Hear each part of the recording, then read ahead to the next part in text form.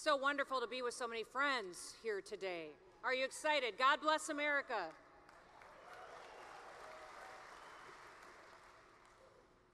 Charlton Heston once said, Those dead old white guys who invented this country, they knew what they were talking about. So often, all we need to do to inspire us for future fights is to look at the examples of the past. Our founding fathers and our former leaders, they charted a visionary path for our country. They created an exceptional experiment of freedom and a personal responsibility that would withstand centuries of storms and challenges. To keep what they built, we must be people who act on values and character rather than our personal benefit. So much of who we are is determined by how we were raised. Now, listen, I didn't grow up in politics. On our farm and ranch, we didn't talk about politics, we lived them. We had a gun cabinet in our living room. We had a shotgun hanging in the back window of every single pickup and tractor. Our family vacations were even hunting trips. Long before I ever ran for office, I became a lifetime member of the NRA.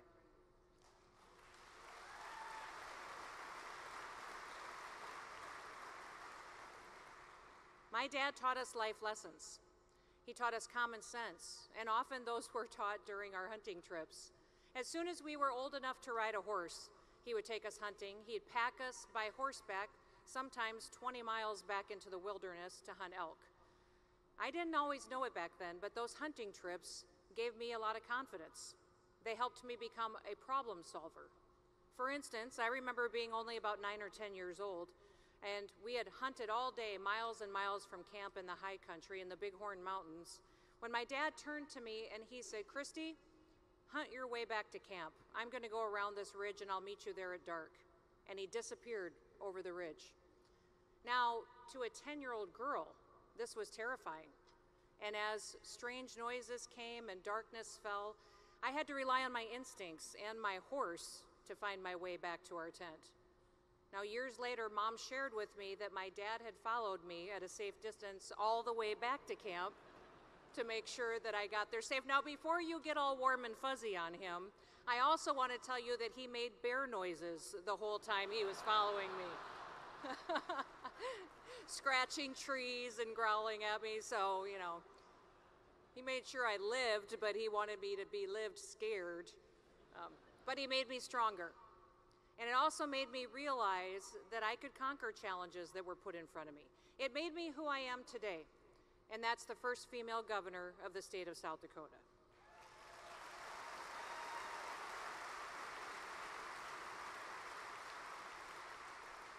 Now, with me today, I have my husband, Brian, who has been with me every step of the way for the last 31 years. Now, I want to thank him for all of his support, but also for the amazing family that we've been blessed with. And speaking of family, I've got three kids, two son in laws, and did you know that I'm also a grandmother? Not just once, but twice. Have two beautiful grandchildren.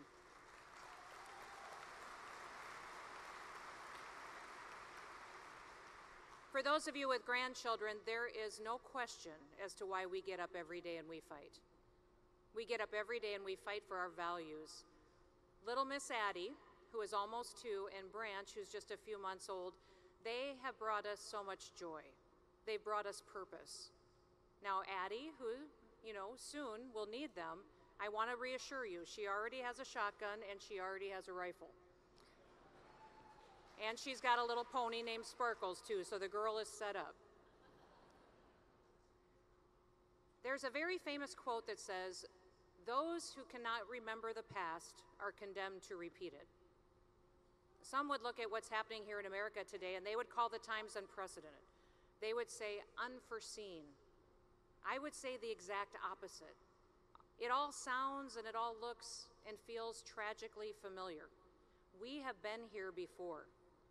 A country that's arguing over policies, a public that's discouraged and dismayed by the lack of public discourse, violence in our streets and in our schools, families grieving their children, and loved ones that were destroyed by a deranged maniac for no apparent reason, and a White House that is so hell bent on grabbing power and control of your life they will do anything and not, stop at absolutely nothing to take it away. They will even take away your last tool of defense. The Second Amendment is about deterrence. It's about ensuring the government respects the rights and the liberty of citizens. A well regulated militia being necessary to the security of a free state, the right of a people to keep and bear arms shall not be infringed.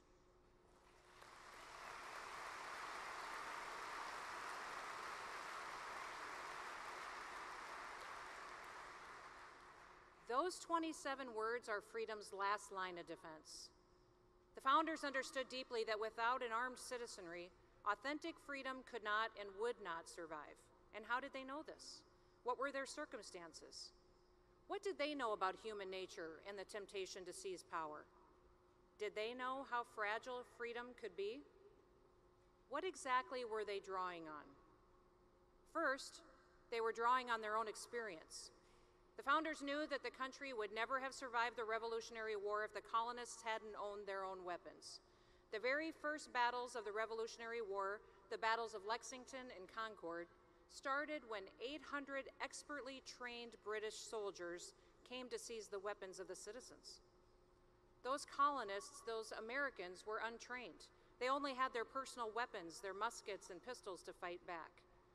One American named Samuel Whittemore was 78 years old. Now think about that. In the 1770s, the average life expectancy was less than 40. As the British were retreating from the battle, Samuel hid behind a wall on his property.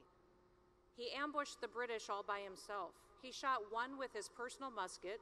He then shot two more with personal dueling pistols. All three of those British soldiers died from their wounds. For his heroism, Samuel was shot in the cheek, bayoneted six times, and clubbed repeatedly. The British left him there to die, but he refused to. He got medical treatment and he lived another 18 years.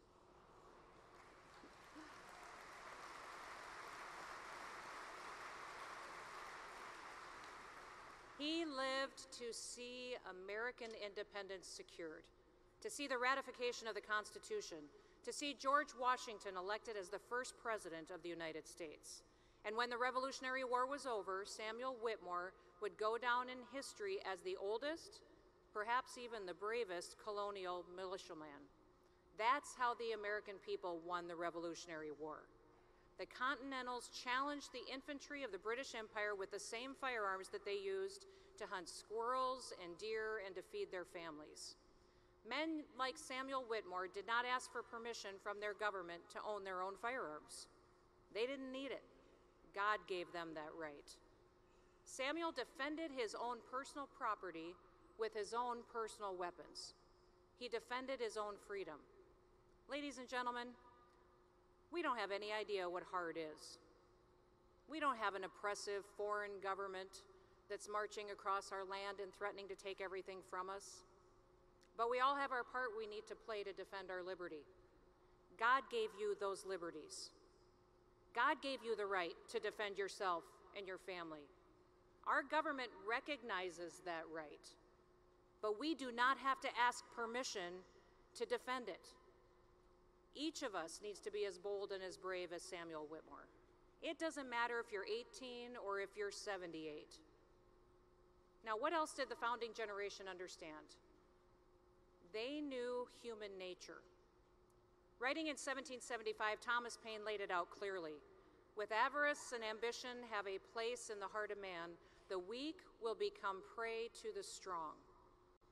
The history of every age and nation establishes these truths, and facts need little argument when they prove themselves. Today, I admit the future looks uncertain. I would say clearly it can be found the answers, studying the past, and striving to do better. Let's be teachable. The National Rifle Association has leaders who stand in the vortex for us today, such as Wayne and Susan. We see them and their family walk through the fire for us, and we are grateful for that. But we should also look at headlines from 25 years ago and see what we can learn for today. I want to reference a Washington Post article that was dated June 9th of 1998. It summarizes where we stood then in this battle for freedom, but it also reflects much of today's reality. The Post reported the following The National Rifle Association installed Charlton Heston as its new president today and loudly applauded his pledge to steer the organization back to the political mainstream from what Heston described as the fringe of American life. The choice of Heston was seen in large part as a response to public relations problems for the NRA. They had intensified recently because of several school shootings and rising calls for stricter gun laws opposed by the group. Now, having the right messenger matters. You ask why I'm here today? Why do I boldly support the NRA? Now, I probably don't look like a traditional NRA member. The media would have us believe that the NRA is only made up of old white guys. And all you old white guys can be proud and raise your hands.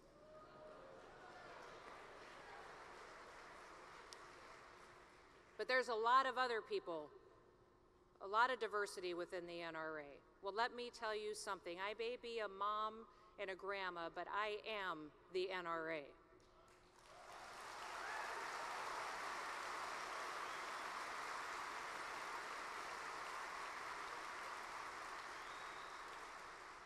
Our daughters and our granddaughters, every American is the NRA.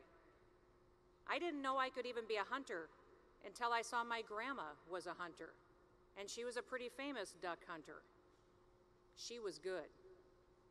The Post in that article went on to say that Heston rose to power in the NRA because of the need to soften the organization's public image. Calling the school shootings a child issue, not a gun issue, Heston reasserted the NRA's long-standing position that violence grows from unraveling family values and weak prosecutors and judges. He also added a new twist. He called on the White House to acknowledge many gun violations go unprosecuted for lack of resources. He called on the Justice Department to start prosecuting every federal gun law violation in one major city. This, he said, would include attempts by felons to buy guns, which are rarely prosecuted except in combination with violent crimes. Heston pulled no punches in his first day as president. Referring to the Second Amendment, he said, Those dead old white guys who invented this country, they knew what they were talking about. Now, again, this article is from 25 years ago, yet that conversation is so relevant for today. What if prosecutors actually did their jobs instead of going on the political attack?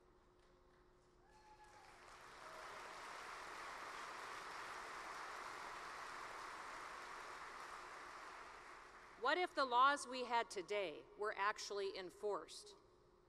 What if, when tragedy happens, families gathered together, they bowed their heads, and they prayed for wisdom and discernment on how to heal hearts and minds rather than to debate the methods by, used by those in society who do do harm?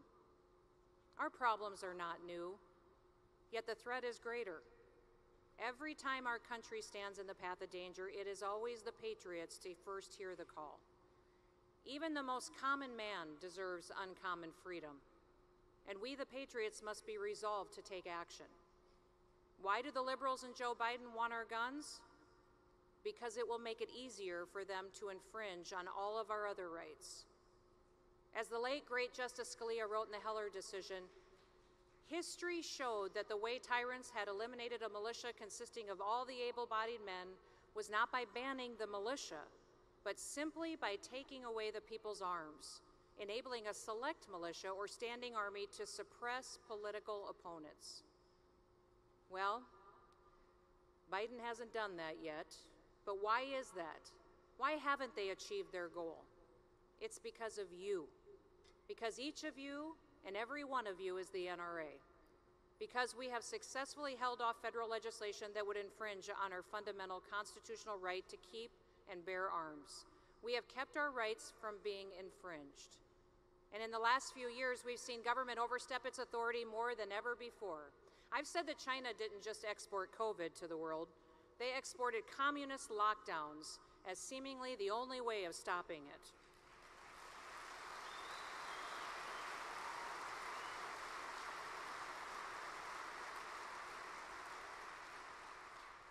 In fact, until South Dakota refused, and was the only state that refused to issue any lockdowns,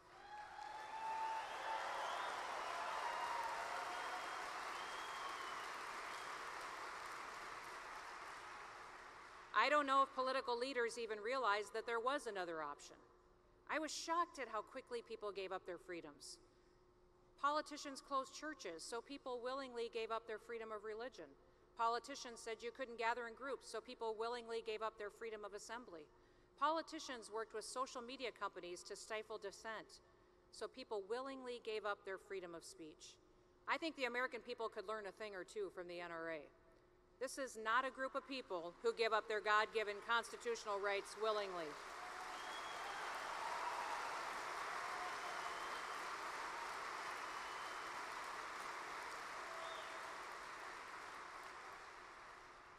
During the pandemic, I spent a lot of time outdoors. Sometimes you just needed a break from the fear and the paranoia that was going on on TV and in all the newspapers. My family would often go and relax at a cabin, go fishing, go pheasant hunting. One day I made a video of me shooting a pheasant. I don't know if you've seen it. I had turned to the camera after shooting a bird and said, less COVID, more hunting. And the liberals melted down on me. I was a little embarrassed by that video, though, because it took me three shots to drop that bird. Obviously, I was a little out of practice. I was making fun of myself. I needed more hunting. It wasn't my best day shooting, and I shouldn't have been surprised when PETA and all the liberal media came unglued and came after me. I couldn't believe, they couldn't believe that I would say less COVID, more hunting. I was kind of confused by it. Did they want more COVID or less hunting?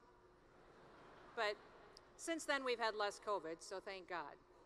And we've had plenty of more hunting. In fact, South Dakota has the best pheasant hunting in the world.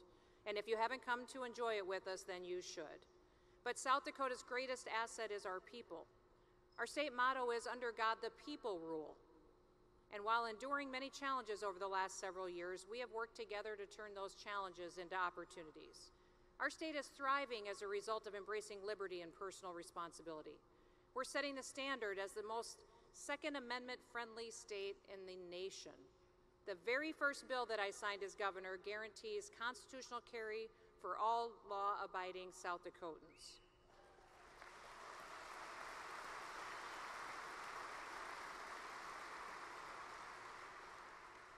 I signed legislation to block state and local governments from being able to use an emergency declaration as an excuse to infringe on Second Amendment rights. We,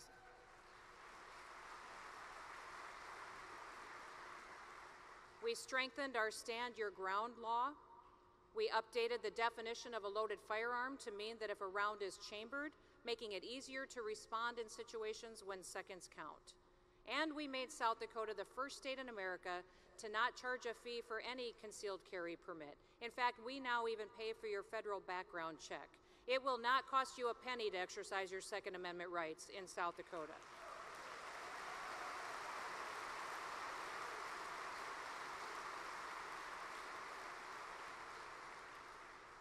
While leadership in Washington, D.C. fails to deliver meaningful solutions for the nation, our state will take action. South Dakota enjoys the strongest economy in the country, the lowest unemployment, and unprecedented economic growth. Make no mistake, freedom generated those blessings. Winston Churchill once said, Never give in, never, never, never, except to convictions of honor and good sense. Well, here, my honor and good sense require me to continue to fight for freedom, and that's what I'll do. As I look around this room, I see resolute faces prepared to stand up for honor and for good sense. You are prepared to defend our right to keep and bear arms. I also see a media at the back of the room who insists that we're crazy for doing so. They're prepared at times to shame us and to demonize us. I know they'll attack me for giving this speech and what I've said. But if they think that that's going to stop me, then they weren't paying very much attention during the pandemic. It's not just the media and the big government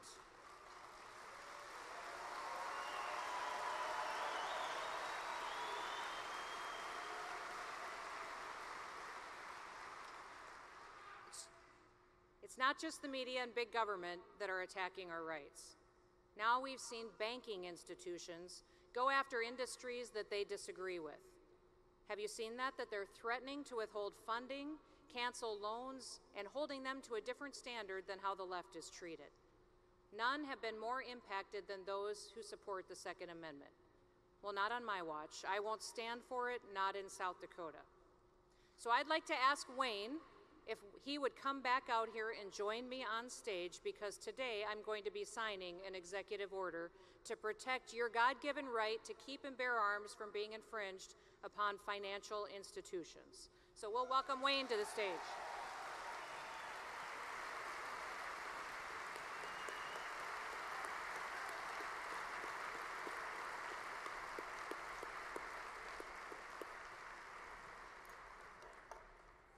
Today, I will sign an executive order to protect the God given right to keep and bear arms from being infringed upon by financial institutions.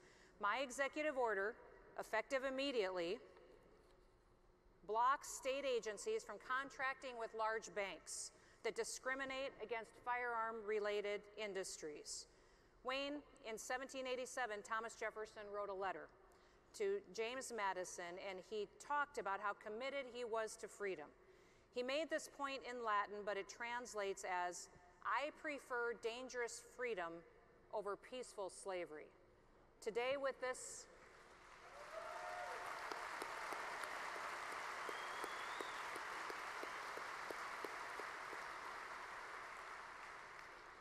I'm not sure. Do you have a microphone, Wayne?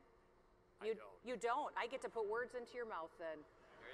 There you go. You're doing great. Wayne is extremely grateful to me for doing this for the NRA today.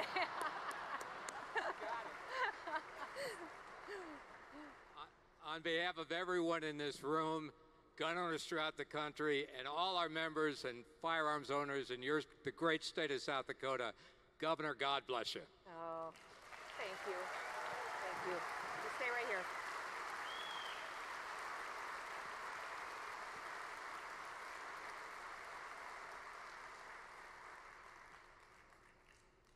This is Executive Order number 2023 04. The State of South Dakota Office of the Governor, I will be signing it on behalf of protecting those industries related to the gun and firearm industry from being discriminated against, against by financial institution, banking, credit card, or otherwise.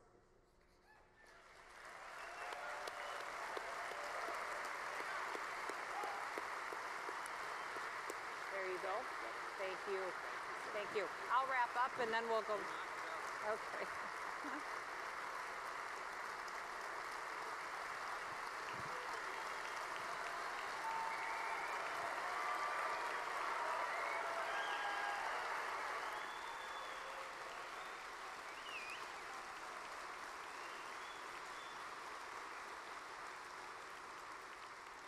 As you leave here today, I want you to remember that quote that Thomas Jefferson wrote to James Madison I prefer dangerous freedom over peaceful slavery.